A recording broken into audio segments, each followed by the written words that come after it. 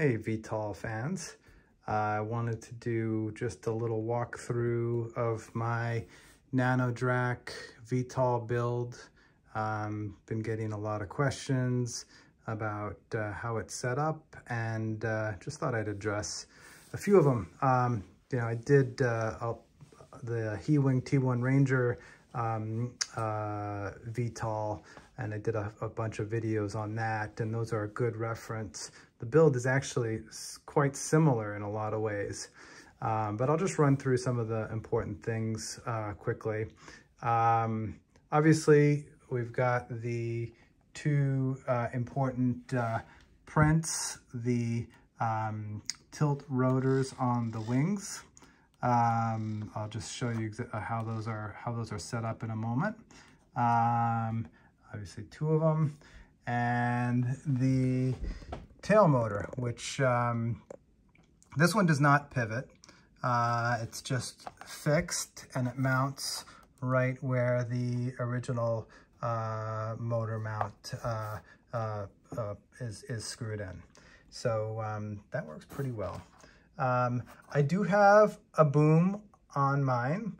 Um, but uh, as as you've probably seen, Sean did uh, his without a boom, and it flies equally well. We both did the extended wings with um, uh, cut down. So these are the 40 inch uh, wings that cut down, so that cut down by four inches on each side to make the wingspan wingspan 32 inches. Why? Um, really just because I wanted, uh, you know, a little bit more lift um, and because uh, it's a little bit heavier build. Um, I don't know if it's necessary. Um, in fact, I tried to do it initially on regular size wings um, and it flew. Um, but I just felt that uh, it needed a little bit more lift. In fact, I had an issue with elevator authority, um, but Sean's not having that problem at all. So um, at any rate, I used the, the extended wings. I have a um, uh, Matek H743 um, Wing V2 board in here, um, running ArduPilot. And uh, and I have a four-in-one ESC, obviously just powering three motors, but uh, um, I have the links to all the parts that I used on my Thingiverse page. So let me just quickly show you um, kind of a grand tour of this thing. Flip it over. See if I can set this down. All right. So here is how the tilt rotor works. Servo in the wing, servo rod, and it mounts with a ball connector into the 3D print. And the 3D print is two parts. Uh, I'm going to take it apart in a second and show you. The motor wire extends out the back and into the wing. And the wings are still removable, and I'll show you how that works. This is um, this is actually a K-Power DMC 809. Um, uh, you can also find this servo on, um, on Hobby King. It's called the DM, uh, the, Hobby King uh, uh or Turnigy DMC 809. A really nice servo, coreless, very, very smooth, and has a lot of torque. Um, and I really like how smooth it is for these tilt rotors. In fact, I tried using uh, Emax servo and it, it, wasn't nearly as smooth. Um, and the torque is helpful. Uh, you know, there could be decent amount of torque placed on the tilt rotor during transitions. So, you know, it's important to get a, a, a, a servo with a good amount of torque. Um, so let me flip this back over.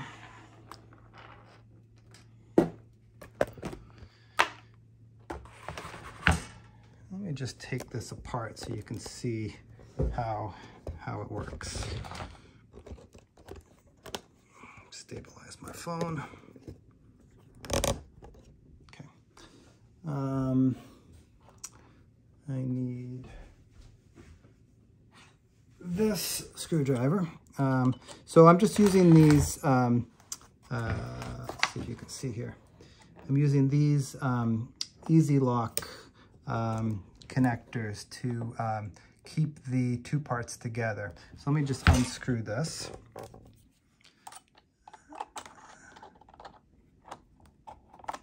That comes off. And then the there's a, a 0.47 inch rod that uh, I've just bent on uh, just bent on one side. Um, in theory, you could bend both sides. Uh, obviously, you insert it and then you bend the other side.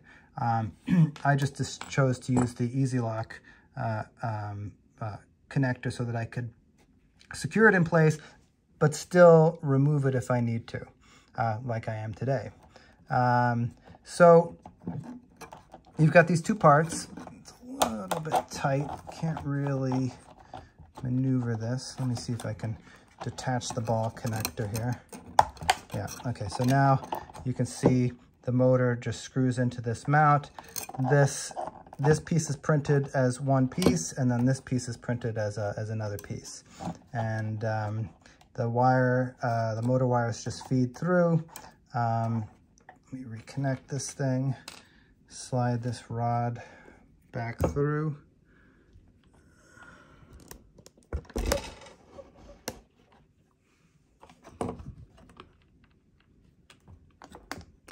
There is a hole here that when you print, you, um, it's kind of, um, my printer wasn't clean enough to make that hole perfectly, so I had to drill it out. So this hole is, uh, I drilled out with a, um, a 1 16th inch uh, drill bit.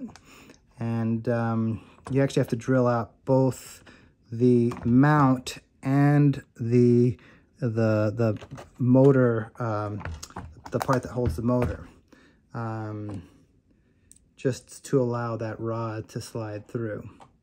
So let me just secure this now. All right, reattach the rod. Um, one thing to note, when you do set this thing up, you do need to kind of fine tune the length of that rod. Um, it's important that you get the full travel um, from vertical to um, forward flight mode. And note also that only when you plug it into a flight controller will that servo give you the, uh, get the full uh, 180 degrees of travel that you need. Uh, if you use a servo tester, you're only going to get about 90 degrees. So it's the flight controller that stretches it and, and gives you the full travel. I also found that I needed to use a um, the the tallest servo horn um, that I had. You need that extra length to achieve the full travel um, that you would, you know, to get to, to move that, that tilt rotor from, from vertical all the way to horizontal. Um, it's actually a fairly a good amount of travel. And another point is that the way this thing achieves yaw, uh, and this is what this is all the way that ArduPilot works, is you calibrate it so that the motors are vertical like this. Um, but it actually assumes and requires an additional 10 to 12 degrees of additional backward tilt. And it's that backward tilt that allows it to yaw because there's no, you know, a tricopter, typically you would have a servo on the rear tilting that rear motor left and right, which allows the, the, the quad or the tricopter to yaw, but this one doesn't have that. So this is how it achieves yaw, by moving these motors independently um, backward a little bit. Um, so you need to make sure you have that additional range. With one caveat, you also need to make sure that when you are, if you if you set that setting to zero, and I, will link to a couple of videos where I, I go through the settings, um, you do want to make sure that you're not actually clipping the top of the, uh, the, um, you know, the nacelle here. Um, I did have that problem once and it was causing me to fall out of the sky while yawing in a hover. Um, so that's something to, uh, to keep in mind. So let me show you also just the way that the, um, uh, the wings come apart. I'm not going to take them apart here, but I just want to show you what I did here. Um, the motor wires are connected to the ESC, come into the bay here, and then I'm using an MR30 connector to uh, connect the wings. So the, the dual servos here, one for the aileron and one for the tilt rotor. These have um, you know, servo extension connectors here. And there's a little bit of slack so that if the wings become separated in a crash, um, nothing gets torn. And same thing goes for this. And if I want to separate the wings, I can just separate that connector. And this is a MR30, which is a three-prong uh, connector. So let me connect that back up. Now, you may ask yourself, why am I using MR30? Is that, does that have enough current capacity?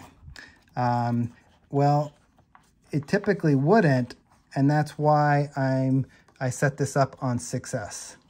Um, so I'm running these um, iFlight motors, and they are uh, 19, oh, 1800 kV. Sorry, I'm pointing at the table. 1800 kV. Um, and these are designed to be run on 6S. So by running 6S, there's less current that's going through this connector. And I really wanted to use a small connector like this um, so that it's just still very easy to, to disconnect the wings if I want to. Uh, I like the ability to, to, to, disconnect the wings. I also like the ability to, um, uh, the way that the, the, the, one of the great things about the Nano Drak is that when it crashes, um, the wings separate.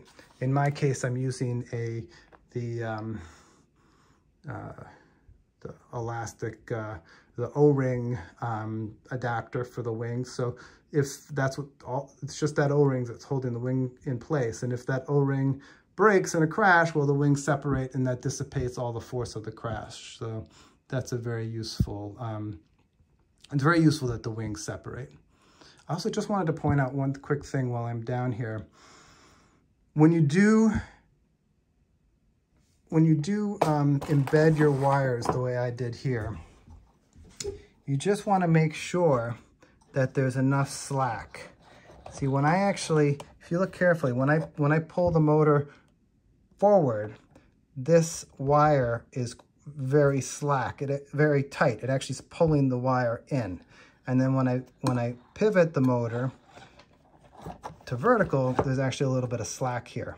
So you want to make sure that you embed those wires with the motor in the forward position so that you have given it enough slack.